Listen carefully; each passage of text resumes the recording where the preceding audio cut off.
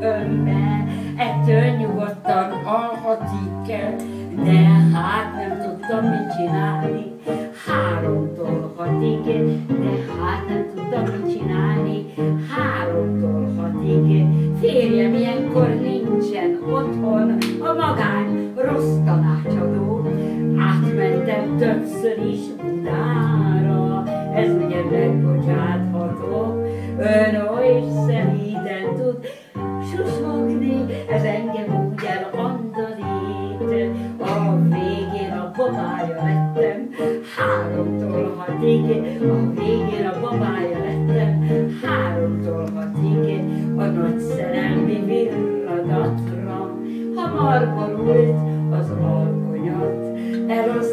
lassan kint a mámon, tüzök lassan kint lelohadt, ritkábban mentem át ön is csak néha-néha hit, ilyenkor szörnyen untuk egymást, háromtól hatig, ilyenkor szörnyen untuk egymást, háromtól hatig, ma szakítottunk,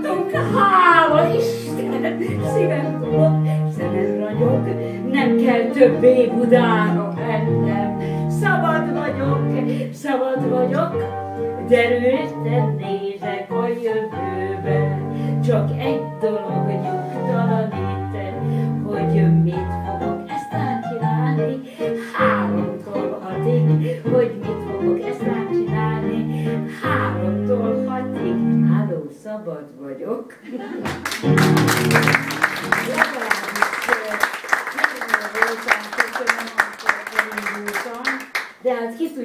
Mire megy haza az ember. Lehet, hogy már mire hazamegy, a kulcs nem passzol az árba. De hát a mi korunkban ez már nem olyan nagy divat, de hogy nem.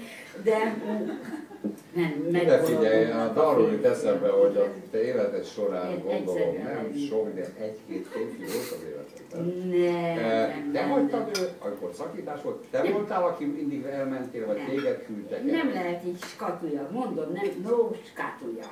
Kérlek szépen, amikor valami nem megy, akkor tessék szíves abba hagyni.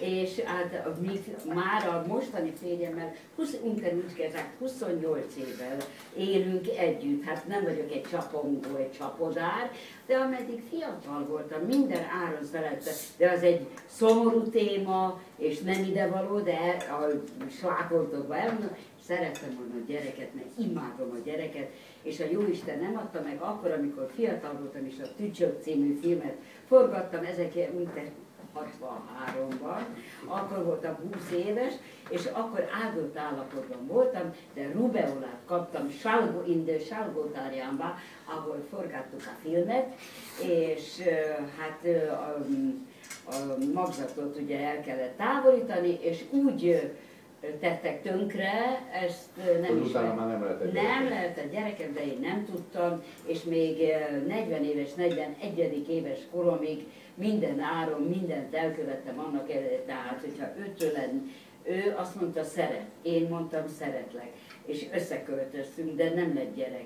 És akkor, akkor jött a következő, hogy próbálkozás, hogy ne menjek ki az időből. Nem védeni akarom magam, csak szerettem volna élni, színésznő lenni, szülni három gyereket, és a bolt, és ma már dédunokám lenne, szóval nem adta meg az Isten. Hát ezt most nem akarok sírni, tehát ezt másképpen nem lehet elmondani, csak úgy, hogyha ilyen, ilyen viccesen elmondom, mert belegondolok, hát fölvágom az ereimet. De ezt nem akarom, mert nem arról szól ez az est. Hát ö, Rengeteg szomorúság van az életemben, úgyhogy tulajdonképpen ö, csupa könny a szobám. Na, Igen? Igen, hát hogy el.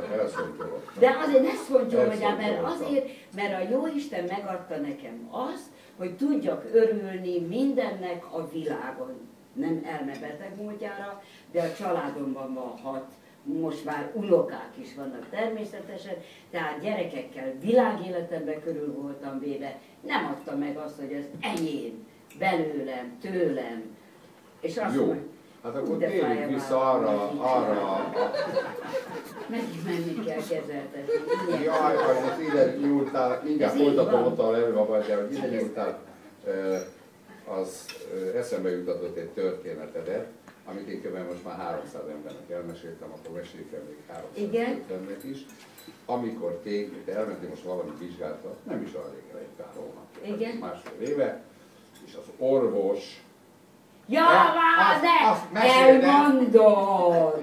Én nem, te mondd el. Jó, hát Hát szóval, az na, igen, na igen, igen, mert a Jánoshoz elmentem a, erről a beszélgetésről, hogy egyáltalán, hát nem nagyon találkoztunk az elmúlt időkben, és hogy mégis tudja, hogy hol tartok, nem anyagilag, hanem, na a következő volt, hogy 60 éves voltam, amikor kiderült, hogy egy ö, nyirokmirigyet, nem kell, akartam el, nyirokmirigyet kellett kivenni innen, de azért, mert hogy én levágtam magam mindig spárgába. Na most ezt egy orvos, ugye nem kérdezi meg, hogy tessék mondani, maga levágja magát spárgába, és azért, ö, hogy mondják, azért gyullad be ez a nyirokmirigyet? Nem kérdezte tőlem senki, én meg nem mondtam. Na és akkor ezt ki kellett venni, és most vagy tényleg ö, a legnagyobb betegségem van, volt, vagy Isten tudja, nem, nem akarok ebbe elmélyedni. Tehát amikor én ö, a, visszajött a szövettan, Magyarországon nem tudták megállapítani, ezt se értem, de mindegy, és akkor Bécsből visszajött, hogy rossz indulatú a dolog, és a doktornő így közölte velem, nem mondom meg melyik kórház, nem takarlak el, melyik kórházba mondta, hogy megjött az eredmény, és azt mondta, így mondta, komolyan, mindjárt megmutatott. Maga nagyon beteg. és mondom, miért örül ennyire doktornő? Mert, mert hát ilyenkor természetes egy beteg, a öcsém különben orvos, és radiológus, és mondja, hogy hát ilyen száz éve egyszer van, hogy pont valaki ilyen elmével, elmebeteg doktornővel találkozik. Na úgyhogy azokat rögtön ott hagytam, akkor elmentem a rákórházba, ahol kaptam, nem emlékszem már, mert ott se arra figyeltem, hogy milyen beteg vagyok, hanem arra figyeltem, hogy mi mindent lehet kihozni ebből a kórteremből, mert ugye a nem kell, nem, kell, nem kemoterápiát kaptam, hanem nem úgy hívják, hogy hanem majd eszembe Mindegy. jut holnap, mindegy. De az nagyon jó, mert hogyha valaki akarja hallani, hogy van ilyen magtera, ami ugyanaz a hatás, csak nem hullik ki az ember haja, meg nem lesz olyan rosszul. Na, ment a infúzió, és én ahogy ment a tak, taráp, tarápa, lava. E- Ezt csináltam, meg rámondtam verset, meg szöveget, tehát elfoglaltam magam, ugyanúgy, mint az MR vizsgálaton is. Ha már volt valaki ebbe a kuckóba beszorítvátot, általában meg lehet halni. De ugye így van benne, és hogy nem szabad lélegezni, akkor visszatartani a levegőt, és akkor visszatartani, vagy meghal, vagy. És hogy akkor itt van ez a nyomó, ez a csengő, hogyha rosszul van, tehát rögtön rosszul lesz az ember, mert érzi, hogy betagad mindene. Na és akkor elkezdik, gedi, gedi, gedi, gedi, gedi, vagy, já, já, já, Ilyen- ilyen já, hangot já, ad. já, jó, jó, mondom, hogy le vagy ejtve, és akkor csináltam koreográfiát rá, és bejött a nővérke, általában tényleg kedvesek, és nem rossz indulatból, tehát idegileg már ők is ki vannak, hogy hogy hogy van, kár, hogy vége van már, mert még még jobbra-balra fordultam volna. Na mindegy. És akkor a orvos azt csinálta, aki ezért be voltam osztva, és azért nem merem mondani a nevét sem, nem azért, hogy titok, hanem nem lehet tudni, hogy mikor kerülök vissza, és befogja az orromat. Csipogsz még, és már nem is csipogok. Tehát eh, félek a betegségtől rettenetesen, ez így igaz. Na, és akkor azt mondta, hogy minden hónapban meg kell nézni a lágy részeket, hogy, mert hát nyilván, eh, ja, mindegy. Igen, a végén majd mondom, hogy azt mondta, hogy majd tíz év, majd csak szóljál, tíz év. Na és akkor megnézte, és mondtam, hogy ne tessék, nem mondtam, hogy ne tessék, ne nyomja a, se a mellemet, se, mert érzékeny vagyok, és begyullasztja, jó. Na és akkor általában lefektetett egy ilyen ágyra, Vasalódeszkára, és tiszta erőből belenyomott ebbe, ez volt az utolsó kezelés, nem kezelés, ellenőrzés, hopp, megfogtam a golyóját, mondom, na ilyen érzés, látod? Azt mondja, normális? Mondom, én kértem hónapokon keresztül, hogy ne nyomja, hiszen hát hogyha így nyomja, megnyomja, akkor ekkora daganat lesz.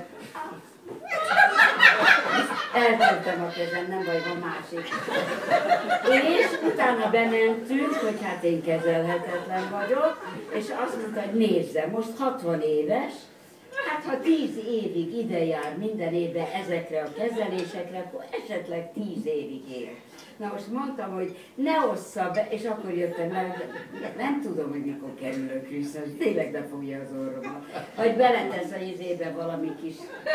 Szóval a történet nekem azért tetszett, mert nagyon kevesen, ezért teljesen őszinte mozdulatot megmutatom ennek, doktor úr, Hát ez ilyen érzés. Igen, igen, egy nőnek a